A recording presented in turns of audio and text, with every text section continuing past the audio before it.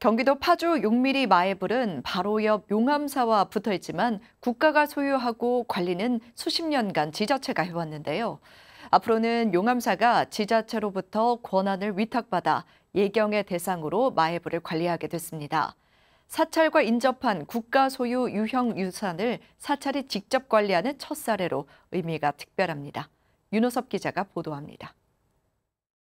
경기도 파주 용암사가 국가유산 파주 용미리 마의 이불 입상에 유지관리단체 자격을 얻었습니다.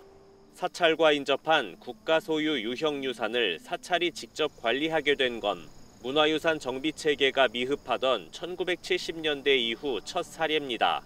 용암사와 파주시는 어제 오전 파주시청에서 용미리 마의불 관리 위탁 협약을 맺었습니다. 마에불은 사찰과 나란히 자리해 마치 용암사 경내에 있는 것처럼 보이지만 마에불이 있는 땅은 국가와 개인이 소유하고 있습니다. 용암사 주지 해공 스님은 국가유산 관리 위탁을 사찰에 맡긴 지자체장의 뜻에 감사를 표했습니다. 국가유산청의 승인을 받아 파주시에서 대한불교 조계종 용암사로 관리단체 위탁 협약식을 맺게 되었습니다.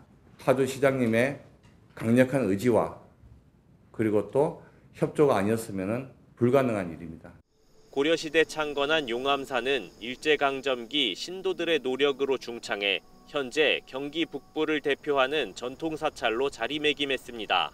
역사적으로 용미리 마애불과 불가분의 관계였을 것으로 추정되는데 마애불 자리만 용암사 땅이 아니어서 소유권도 주장할 수 없었습니다. 하지만 이와 별개로 오랜 세월 용암사가 심혈을 기울여 마애불 보전에 앞장서 왔기 때문에 파주시도 관리 위탁을 흔쾌히 결정했습니다. 용암사는 오늘 협약을 맺기 전부터 두 부처님 상과 주변을 가꾸기 위해 힘써 오셨습니다. 그런 용암사가 이제 용미리 마애입을 입상을 책임지고 보살핀다고 하니 마음 든든합니다. 이번 협약은 앞으로 국가유산과 인접한 사찰이 해당 유산을 예경의 대상으로 관리할 수 있는 전기를 마련했다는 점에서 의미가 큽니다. 충남 보원사지와 함께 있는 보원사나 안동 연미사 제비원 석불도 이 같은 사례가 될 수 있습니다. 조계종 문화부는 이미 특정 지자체와 두 번째 관리 위탁 사례를 만들기 위해 협의 중이라며 현황 조사를 거쳐 여러 사찰에 도움을 줄 계획입니다. 사찰 인접한 많은 문화재들이 또 지자체가 관리권을 가지고 있는 부분들도 많기 때문에 그 부분들을 저희가 지금 현재 현황 조사를 하고 있습니다. 그래서 세 번째, 네 번째 이어간다면은 앞으로는 좀 수월하지 않을까. 국가 소유 문화유산을 사찰이 직접 관리하게 된 건 유산이 제자리를 찾는다는 의미의 또 다른 환지본처로 평가됩니다. BTN 뉴스 윤호섭입니다.